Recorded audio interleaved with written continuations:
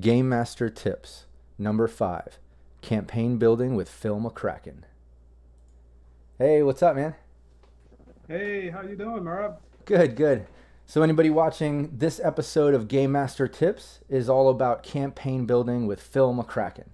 So, I'm not going to get into a super deep conversation about Phil's background with gaming and GMing and his passion for cyberpunk and all that good stuff because that is an, a whole episode in itself that that we have on uh, Cybernation Uncensored. This is a more specific, you know, game master tips. It's it's more laser focused on tips and and uh, specific conversations about being a game master. So we're gonna stick to that this whole episode. I just want to talk to Phil about his process of campaign building. So Phil, let's get into it, man. Uh, you know, everybody right. knows you're, you're, a GM. You've been doing it a long time. You love cyberpunk. Um, first off, do you ever you before we get into your process of campaign building, do you ever use, you know, published campaigns, modules and stuff? I have actually never used a published module in my entire time of game mastering. That's fine. I've taken little tidbits here and there, but usually it's just I read it just for the enjoyment of reading it, but I don't really use it in the game building.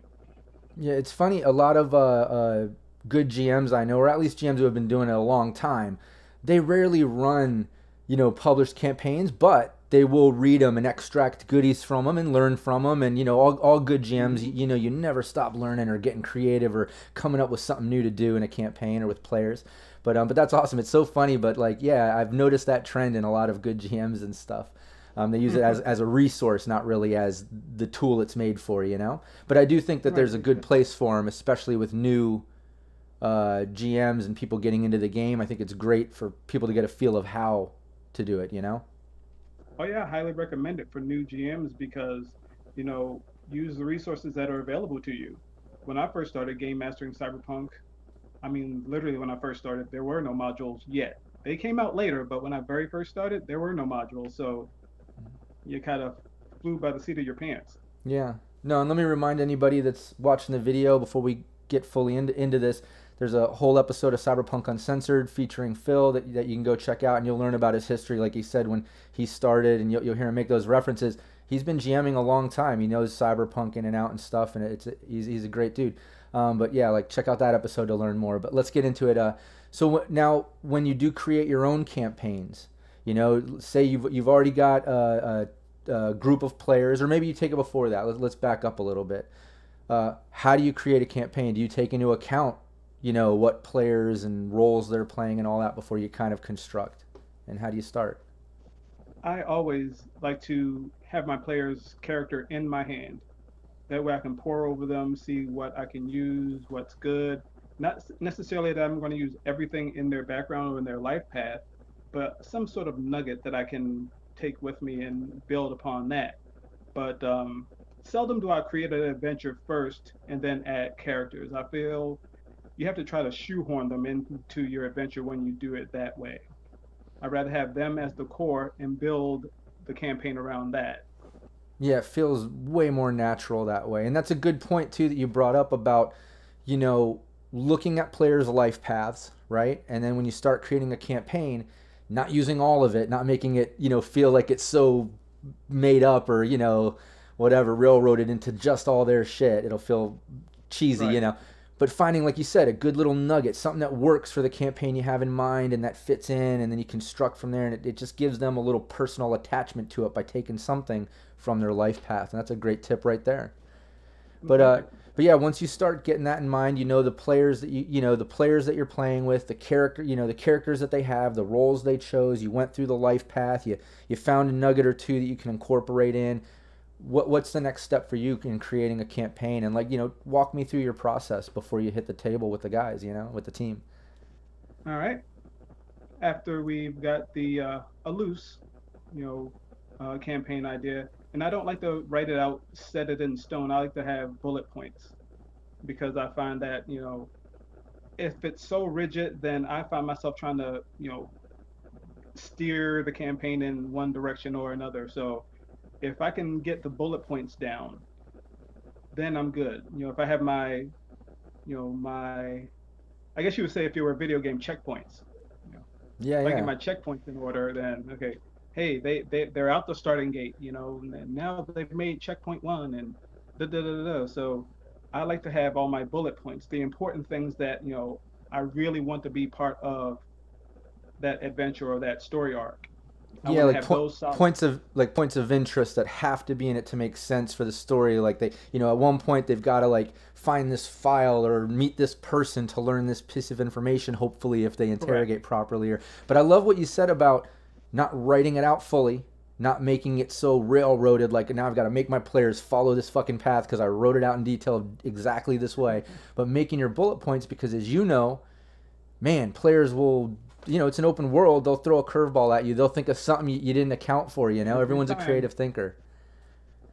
Every time, every time. Yeah. So yeah, once I got the bullet points down, I I launched with my you know session one, you know, and we've hopefully had a good session zero like you've already you know talked about, and see where they go with it. You know, here here's this thing like you say you here's this file you have to find or this person or uh, something like that.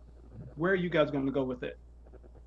Yeah. and I'm at that point, I'm the one hopping around, not them. Like, okay, they've gone over here. Let me come over here. Yeah. Do you yeah, find being a good. do you find it kind of a, a thing where like you know you'll lay out the campaign your bullet points your main thing like maybe just for the sake of conversation let's say you come up with this thing where like um, you know they've got to rescue this guy from some location he's been kidnapped to and you're like okay cool well i, I got to start off with them obviously getting hired by this corporation that or this booster gang or whoever's going to hire them to go get this person. If unless you make that person in somewhere in someone's life path so then they, they, they want to go rescue them when you tell them they heard that they're captured you know. But you always start with Mhm. like those points and then do you find it kind of like you got your bullet points that you want them to meet. You don't want to force them so you try to bait them with like little you know morsels of i don't know rewards or hints of story or things to investigate and then just hope your players like catch on and go with it or how do you kind of make sure they hit those bullet points or are you or do you move those bullet points around based on where they go and what they do how do you how do you work with that Uh, number one, the helpful NPC. You know, there's usually at least one that you know. Oh, didn't we see this thing back there like 10 minutes ago that they might have forgotten? Not giving them any information that they didn't already have, but hey, didn't we see this piece of paper back here on this shelf? Or they're trying to jog their memory. Or, as you say, move the bullet points around. Yeah, yeah, yeah. Because I've found myself doing that. You know, moving something because it didn't work out or they didn't catch the hint. And and but you brought up a great point, and that's another tip I want to make serious note of is you know a GM can use an NPC to not force a player to do something or make it exactly. You know, don't be so rigid like Phil said. You know, be flexible, make it fun for the players. It's an open world after all. But uh, but using NPCs to kind of help at least guide a little, drop a hint that they may have missed or for or a piece of information they forgot about. That's a great point. That's cool. Thank you, thank you. Yeah, and as an old mentor of mine used to say, because he he was a, a Dungeons and Dragons player from since it was chainmail.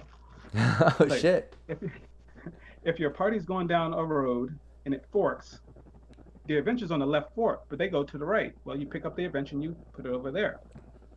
Exactly. That's what I was saying. Like I've moved bullet points before. Um, I haven't really, you know, I have used NPCs to drop things, but it wasn't intentional. I didn't think of that or realize uh, in doing that till you mentioned it. And now I'm going to definitely have that in a back pocket as a tool. That's a great tip. But uh, but I have moved bullet points before. You know, like I've had like certain Oh, things yeah. where I was like, oh, this is going to be over here, and this is this is the only way they can get to it, and it's part of its own little side mission. And then they come, you know, the players, man, they'll come up with their own side missions and things that are just as cool, sometimes cooler, you know. So I'll be like, fuck, Yeah. that. I didn't even think of that. Yeah, let's go that route, and I'll just move that thing over here, you know, and make it work. Precisely. Precisely, precisely. So once I've got that going, again, I just kind of like at that point I've wound them up and I'm letting them run. You know, say, okay, here's your direction, go for it. Let me see what you got. Hell yeah. And you know, you know, at that point, you know, I'm a passenger. I'm just trying to, you know, hang on to them and where they're going. Yeah, and I think that's a good point to make too. Like good GMs aren't really, you know, like a good GM is definitely a storyteller. You'll lay out what's up. You'll give, you know, the key points and you're in control. You're doing the rules. You're making final decisions if a rule isn't set in a way or whatever. You know, you are in control. But it is important to make note, like you said, you know, the players are the heroes. Even in Cyberpunk, there's no heroes. It's fucking dangerous. You know, it's a even playing field. You know, you. Uh, uh yeah, my current campaign, they're definitely not heroes. Yeah, like uh, hey, you can die easy in Cyberpunk. You know, but um, but yeah, like a good point is, you know, to to make sure that you let the players create the story. I guess that's a way to put it. You know, like hero or not, whatever it is the players are creating the story. You're laying out the, the potential missions and clues and goodies and rewards and repercussions and running the rules, and you're doing all that.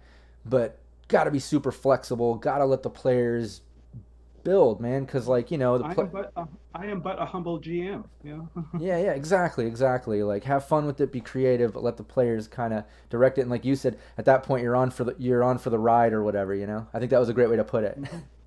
Oh, thanks. Yeah. Well, I like to analogize it sometimes. It's like it's like creating art. I give them the the canvas and the paints. I let them what make what they're going to make out of these. You know. Yeah. The colors. You know, you got this booster gang. That's a color, and you got this corporate over here. That's another color. The canvas is Night City, and okay, here's your artwork. Go for it. Yeah, exactly. That's great. And now, when you set up the campaign and I understand like you know you'll kind of work with the players you'll learn the life path you'll do your whole session zero you know research.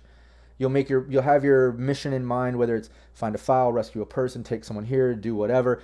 And I, and that's always you know based on the the roles that the players chose you know the style of game you might construct I imagine. Um, right. then you make your bullet points and you just kind of help hint and guide and you know go with the players to make this hopefully happen. And roll with the the punches and flexibility and stuff. But that's great. That's structuring a campaign and doing all that. How do you like to to start it typically? And I know like every campaign's different. Like I've started one recently where the team was already like no weapons, no armor, zip tied in bathtubs in a yakuza torture facility, and they started like that. And I told them like what happened to them the night before. And now they're waking up here and like you know, but you know the typical is start with like a call from your corporation or fixer, someone's hiring you for a job, or you're checking the merc board, you're reading a scream sheet. How do you typically start a campaign, or what are some ways, you know? Well, I'll use my current campaign as a, a guideline. Uh, one of my uh, players is a techie, and he works in this building that's half office space, half apartment building. Another character is a, a trauma team. Someone explodes in the apartments above his office, the first my techie. So he goes up to investigate. There's these black jumpsuited guys dragging out, well, a body without a head. Nice. Here comes trauma team. They're investigating because they got a call. They see the guy and these black suited guys. So of course their job is to you know extract the body, even if it's just a body, it's still a client. Mm-hmm. And then they all kind of converge from there. Nice. It's something happened in a central focal point that drew everybody to it, and there you go. See, I love that. I love, uh, like I said, like typical missions, you know, or like a session. Even if you have a campaign that might be broken into multiple sessions, I see a lot. Like start with, like I said, a scream sheet, a call from someone hiring. Um, you might start with like a call from a life path person telling you a situation happened. But I am a, and, and I'm a fan of all those because it's great storytelling. It's great build and climax. It's like it just it works. It's a traditional right. thing, you know. But I am a big fan of thinking outside the box. Like I said, starting just in the mix of something or whatever. And uh, and and I love that you did that. That uh, you know, just starting.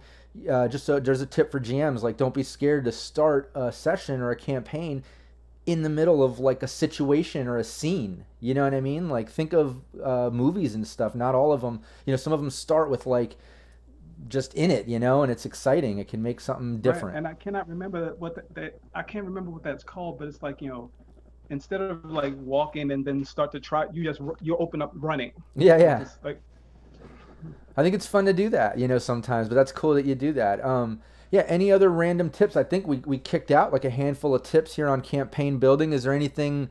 that we forgot to mention. You know, I hate I hate ending a, a, great talk about campaign building when I think we wrapped it, and then afterwards I'm like, oh shit. But uh, uh, I'll add to the comments if we forgot something. But is there is there anything that comes to mind? I think I think we got it. Um, I can't. No, I can't I can't think of anything. Let me, if I can bring up one thing that um, even with the NPCs, don't be afraid to you know put yourself into it. You know, don't just you know like in one of my uh, games, they go to this little gun shop and there's this little old bald man with you know thick glasses, and it's kind of me. So, nice. so, you know, oh, no, have fun with it. Yeah, yeah. I was, I was. Let's let's say that real quick too, because that's a good point to make. I do like doing that myself. Like I was playing a fixer in another friend's game. Uh, this guy John John the Wise, he streams, he does games just like how I, you know mm-hmm. uh, I do and others, and I'm a big fan of his. If you haven't seen, look him up. He's he's awesome. But I was playing a fixer in one of his games that I really liked the the character creation for a guy named Dutch, um, which has actually made its way into some film production stuff I'm doing. I'm doing like a, a cartoon sort of thing, but I don't want to get too much into that yet. But uh, right, right, right. But uh, yeah, the, I I work it in. I worked it into a previous uh, session we were doing before we got into full red Rule Cyberpunk Red. Um, when I was doing like a hybrid version, 2020 starter, you know, Jumpstart okay. Red. And um, and for the players, you know, the fixer that they would deal with was this guy Dutch, and I would play him as I would play Dutch in the game. So it was kind of fun to put myself into it in that sense. But I like how you said too to actually put yourself into it too. Like you know, like GMs can totally run a game and let the players be the ones or whatever. But uh, yeah, you control NPCs, but don't be scared to totally make an NPC someone that you enjoy doing and make it a background. Don't be the leader. Obviously, you're the oh, GM yeah, yeah, still. yeah, yeah. But it is fun to kind of I don't know put yourself in a little bit and, and don't be scared to do that. That's really fun. Thanks. Yeah, that's cool. Um, but yeah, I think I think we covered everything. Uh, I think we got a good idea of campaign building with the you know the session zero, dropping in key points of life path stuff here and there when you can, making your bullet points, but don't write it out fully in concrete because you know players are gonna you know things are gonna come out of left field. You got to be flexible. Um, you know, if, if players are missing certain key points or bullet points and stuff, don't be scared to move those around. Don't be scared to uh, drop an NPC and that maybe reminds the players of what they said or re- reiterates a hint or something. Uh, I think I think I, I did a little cliffs notes there of the tips you said. Hopefully I didn't miss anything but yeah, any, anybody checking this out, definitely look Phil up. Uh, he, he's one of the moderators in the Cybernation Uncensored group. He's been on the podcast numerous times. I'm excited to have him as part of the Game Master Tips. And definitely go uh, check out the Cybernation Uncensored episode that is all about him. We're going to get into his background and all kinds of stuff and just have a fun conversation about Cyberpunk. Um, if this video is helpful to you as a GM or player or whatever, you just like Cyberpunk and you like this, please give us a like, give us a share, subscribe to the YouTube channel, and join us for some live gameplay. And uh, yeah, any last words, Phil? Um, if uh, anyone's on the Cybernation Uncensored Facebook group and you want any more uh, tips on me or anything that I do in my game, please shoot me a DM and I will happily respond. And uh, I love talking to new players, even new GMs. It's uh, it's one of my favorite things to help people into this world that Rob and I love so much. Hell yeah. No, and I see you all the time with uh, I think that's how I we first became friends online and I got you into you know helping run run our group and became part of it in the podcast and everything was because I would see you just posting regularly and I could tell you were into it, but it was great opinions and ideas and content and like uh, you know, you're, you're, great with that, and I love the fact that you're uh, you're open to talk to players and GMs and just uh, I don't know a great part of the community. Uh, you're very helpful, and I think that's really cool, man. I, I really appreciate you. Thank you. So yeah, thanks for joining me, man. Thanks for everybody tuning in. Uh, take care, Phil. Everybody else, take care. We'll see you next time.